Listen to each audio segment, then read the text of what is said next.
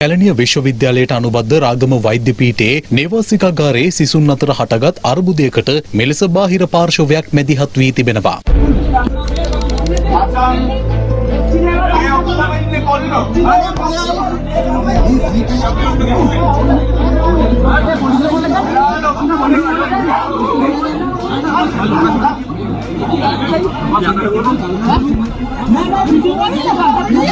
අදාළ පිරිස පොළු මුගුරු අතැතිව පැමිණ මෙලෙස සිසුන්ට පහර දී ඇති අතර පහර දීමෙන් සිසුන් තිදෙනෙකු තුවාල ලබා රාගම රෝහල වෙත ඇතුළත් කර තිබෙනවා. නේවාසිකාගාරය වෙත පැමිණි පිරිස පිළිබඳව සිසුන් පොලිසිය දැනුවත් කළ අතර පසුව අදාළ පුද්ගලයින්ගෙන් පිරිසක් එම ස්ථානයෙන් පලා ගියා.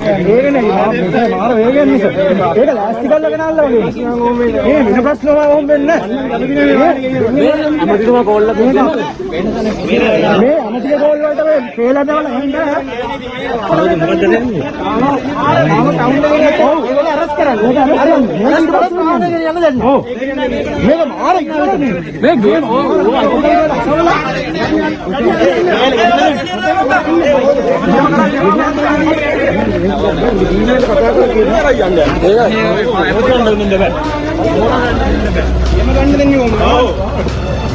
Thank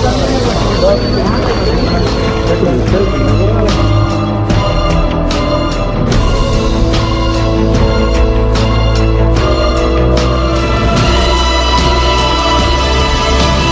ඉක්මනට මේ ගේම් අභ්‍යන්තරය ඇතිවෙච්ච ගැටලුවක් හේතුවෙන් මේ කියන්නේ ඒක ගැටලුව සමතකටපත් වුණාන් පස්සේ මෙතන බාහිර පිරිසක් ගෙන්නලා ඊට වඩා ලොකු ප්‍රශ්නයක් ඇති කරන්න පි- පිරිසක් අ, කටයුතු කරා විශේෂයෙන්ම දේශපාලන මැදිහත් වීමක් තියෙන පිරිසක් ඇතුළට ගෙන්නලා අ, ලොකු ගැටලුකාරී තත්ත්වයක් ඇති කළා. ඒ පිරිස පලා ප- පලා ගියා ළමයි එකතු වීමත් එක්ක මේ ගැට- ගැටුමේදී අපේ ළමයි තුන්දෙනෙක්ට තුවාල වෙලා මේ වෙනකොට රාගම ශික්ෂණ රෝහලේ ප්‍රතිකාර ලැබෙමින් ඉන්නවා. කෙසේ වෙතත් ඔවුන් පැමිණි එක් මෝටර් රථයක් සහ පැමිණි එක් අයෙකු අල්ලාගත් සිසුන් එම මෝටර් රථය සහ අදාළ පුද්ගලයා රාගම පොලිසියට බහර දී තිබෙනවා. මෝටර් රථය පරීක්ෂා කිරීමේදී එය පොල් සංවර්ධන අධිකාරියට අයත් රථයක් බවට තහවුරු වී තිබෙන අතර එහි තිබී 2018 වසරේදී නිකුත් කළ රාජකාරී හැඳුනුම් පතක්ද සොයා ගැනුණා. මෙම හැඳුනුම් පත එවක අරුන්දික ප්‍රනාන්දු අමාත්‍යවරයාගේ පෞද්ගලික කාර්ය මණ්ඩලයේ රියදුරෙකුගේ හැඳුනුම් පතක් බව අනාවරණය වී තිබෙනවා. මෙම සිද්ධිය පිළිබඳව අද අමාත්‍ය සරත් වේරසේකර මහතා මෙලෙස අදහස් පළ කළා. ඒ සම්බන්ධයෙන් මම පොලිස්පතිතුමාට ඉතාම විධිමත් සහ පූර්ණ පරීක්ෂණයක් පවත්වන්නට කියලා දැනටමත් නියෝග දීලා තියෙනවා. ඒ අනුව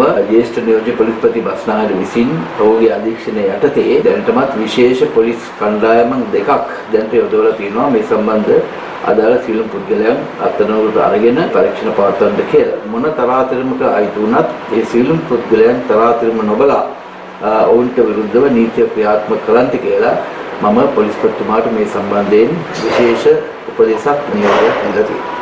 සිද්ධිය සම්බන්ධයෙන් මේ වන විට හය දෙනෙකු අත්අඩංගුවට ගෙන ඇති බව පොලිස් මාධ්‍ය ප්‍රකාශක ජ්‍යෙෂ්ඨ නියෝජ්‍ය පොලිස්පති අජිත් රෝහණ මහතා ප්‍රකාශ කළා. ඊයේ රාත්‍රී 11:30 12:30 අතර කාලයේදී මෝටර රථ දෙකකින් මේ පරිශ්‍රයට යම්කිසි පිරිසක් අ, ඇතුළු වෙලා තියෙනවා. ඒ ඇතුළු වීමෙන් අනතුරුව යම් පහර දීම් ආදිය සිදු වී තිබෙනවා. මේ සිද්ධියෙන් තුවාල ලැබූ රාගම වෛද්‍ය පීඨයේ සිසුන් තිදෙනෙක් මේ වන විට රාගම රෝහලේ ප්‍රතිකාර ලබමින් පවතිනවා. ඒ වගේම තවත් තුවාලකරුවන් දෙදෙනෙක් මීගමුව රෝහලේ ප්‍රතිකාර ලබමින් සිටින බවට අනාවරණය වුණා. ඉන් එක් තුවාලකරුවෙක් මෙම රාගම වෛද්‍ය පීඨයේ සිසුවෙක් බවට අනාවරණය වුණා. ඒ වගේම ඔහු මේ සිද්ධියට අදාළ සැකකරුවෙක් හැටියටත් අනාවරණය වුණා. සිසුන් විසින් එක් මෝටර රථයක් ඔවුන් භාරයේ තබාගෙන තිබුණා. එය රාජ්‍ය ආයතනයකට අයිති මෝටර රථයක් බවට විමර්ශනයේදී අනාවරණය වී තිබෙනවා. පැමිණි පිරිසෙන් පුද්ගලයන් 6 දෙනෙක් මේ වන විට අත්අඩංගුවටගෙන තිබෙනවා.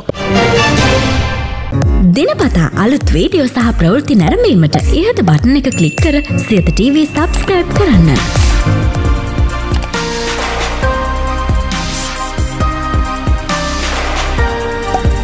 අලුත් වීඩියෝ ගැන මුලින්ම දැනගන්න මෙම සීනුව ක්ලික් කරන්න.